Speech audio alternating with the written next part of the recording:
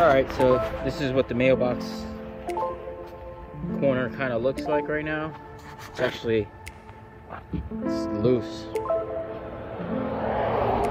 So I could probably just pull this thing down with my hand. So we're gonna take that out and we're gonna put a new post in place. We're gonna make a little box and uh,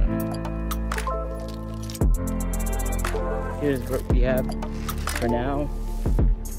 We set the concrete in and temporarily fasten the old mailbox for now while that sets um, and then we'll come back another day to uh, put the new post in and uh, new mailbox in.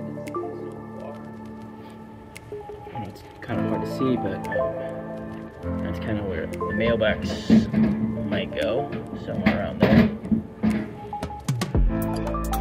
Sure is.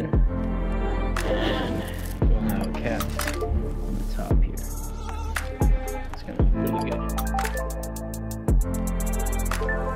Alright, so our pieces are all sealed up. Um, what I'm gonna do is paint these brackets. Um, and then we'll get to installing these guys.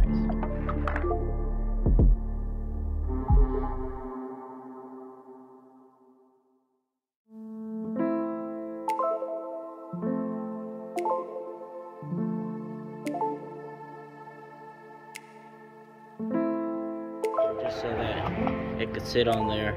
Um, it's not the prettiest of uh, brackets, but this is all gonna get covered up with stone and stuff, so it doesn't. I didn't really care too much for how it was going to look because it's gonna get covered. So, all right, here we go.